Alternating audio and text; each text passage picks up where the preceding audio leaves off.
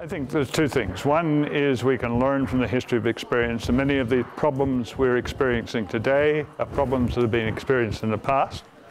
Uh, we should learn from that. Um, for example, I mentioned rubber. We have large companies going back to plantation rubber again. That doesn't make any sense from a historical perspective.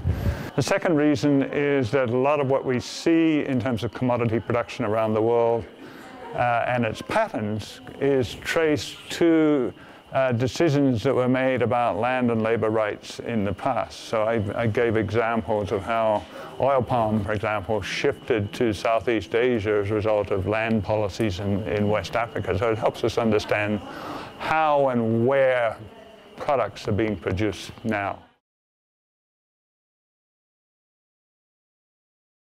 I think the rubber story is interesting in that it was a wild species, it was harvested wild, and then when you had the automobile industry take off around 1900, you had this huge demand for rubber. So you're looking for opportunities to make it into a cultivated product to be able to meet the supply. Uh, and there was a huge amount of experimentation done by many different companies and different species uh, to try to convert rubber from a wild to uh, a cultivated uh, species. Uh, and the current species, which is uh, Hevea uh, brasiliensis, was actually the one that the, the, Malaysian colonial government and planters were experimenting with. and that's the one that worked. And so having plantations with deep pockets with the capital uh, Uh, the time and, and, and capital to experiment, I think, was important in that happening. But once you had the technology worked out, there was no reason that plantations had any comparative advantage in rubber production because it's a very labor intensive crop. You have to go out and harvest it every day. It was ideally suited to smallholders. So when the colonial governments turned around around 1930, they said, oh, there's all these smallholders out there. They just hadn't expected, they hadn't counted on it. In fact, their policies have been hostile to smallholder rubber production. And then they just took it over. So you had this sort of progression. Uh, and I think there is a role for private capital in overcoming some of these pioneering risk uh, in going in establishing a new crop in a new area.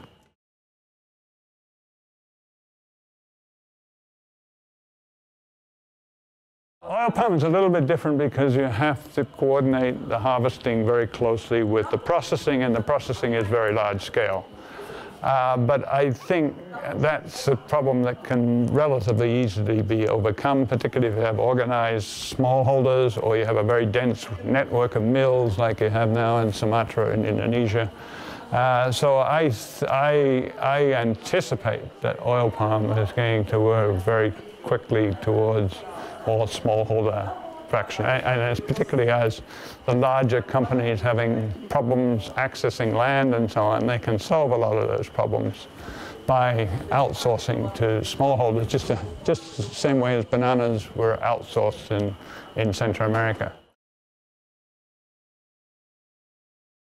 I think it relates very much to the certification question. I think with horticulture, you started off with standards. First of all, there were food safety standards for Europeans, very high uh, minimum standards, and then you had social and environmental standards on top of that.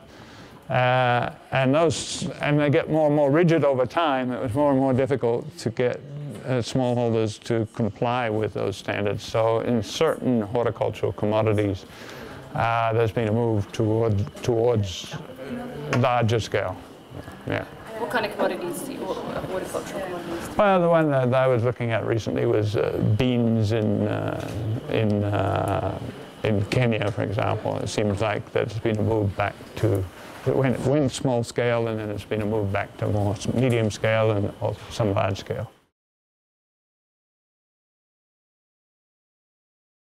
In terms of what I was looking at, I was impressed with what it, the, the, the progress in labor standards consistently over a century. I was impressed at how quickly, in terms of the environmental standards on deforestation, we seem to be moving. It, it didn't, we didn't start on that until the 1990s, and we seem to be moving in, in a historical point of point of view very rapidly. But land is still land rights and of, uh, of people affected by large-scale investments. That's still uh, a work in progress, and uh, we don't have an international organization that's got that champions their rights. Uh, and I, I, think there's, there's a long, long way to go to establish some sort of minimum standards on land rights.